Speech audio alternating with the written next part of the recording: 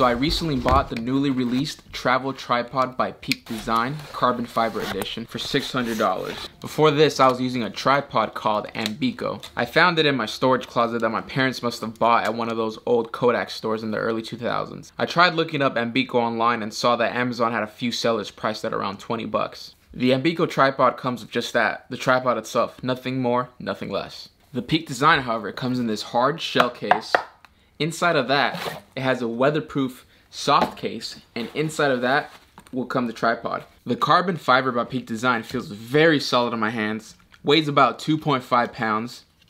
It just feels strong, whereas the Ambico, it feels kind of bendy and a little lighter at about 2 pounds in my hands. The Ambico Compacted's height is about 1 feet 7 inches tall, whereas the Peak Design Compacted comes in at about 1 feet 2 inches tall.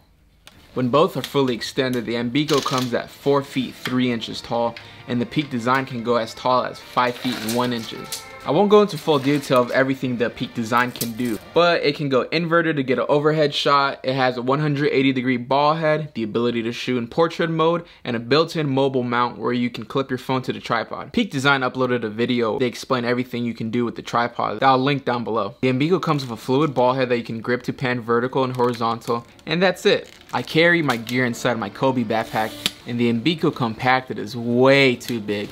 It takes up way too much real estate, whereas the Peak Design is very small and takes up hardly any space in my backpack. I'm pretty sure if I were to Jon Jones oblique kick the Ambico's tiny legs, it would snap in half. Whereas the Peak Design, just because it's so sturdy and it's carbon fiber, pretty sure it could take a mean leg kick and not give any the bendy tripod legs. So can I justify top tripod brands like Manfrotto, Peak Design, etc. to charge $600 plus for a tripod? Yes and no. You have to ask yourself this. Do I plan on traveling a lot with this tripod? Do I need something sturdy where if someone bumps into my tripod, it won't fall over easily? Something I can take self-portraits, it can hold a heavy cinema camera, and more. Yeah, I guess get a well-built, expensive tripod. But if you don't plan on traveling with this tripod, don't need to worry about someone bumping into your tripod, and plan on filming just in your own home, getting static shots, then the Ambico is perfect for you. Matter of fact, get something cheaper than the Ambico. You're pretty sure you could find like a $5 tripod from China on Amazon. Don't let these companies trick you with big words and neat little features that don't mean anything. At the end of the day, a tripod is meant to go on a flat surface, you put your camera on top of it, and you press record. There's nothing special. Be a smart shopper.